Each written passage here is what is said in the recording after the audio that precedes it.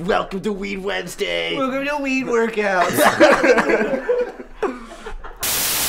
One, two, three. Hey! what up, guys? I'm Andy. And I'm Anthony. And We're your local weed correspondent. And we're here today to talk about, talk about, talk about taco. Down, down, down, down, down, down, down, down, down. Taco is a new bill that lets you smoke weed anytime, anywhere. Everyone is actually now required to carry weed on them at all times. Ohio University's president Duane The Nellis is now everyone's personal drug dealer. And you can now buy weed at any of the.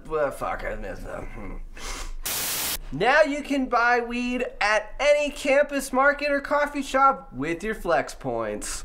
There's also a small clause in the fine print that lets you ride the horse cops and not get arrested. If you smoke a whole blunt in class, you will get an A. but only if you eat the ashes. Excellent.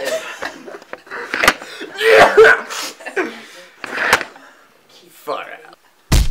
The Athena will now be serving weed infused butter with all popcorn.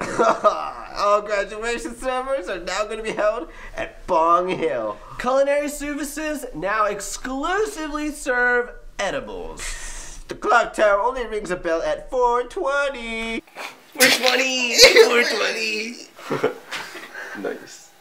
The, the next episode by Dr. Dre is now the new the new alma mater.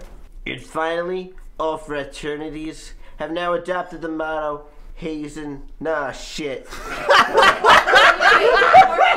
Hazen, ah shit.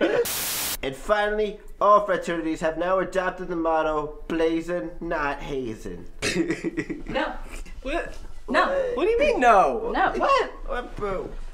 You're wrong. About what? Everything. So what does taco do?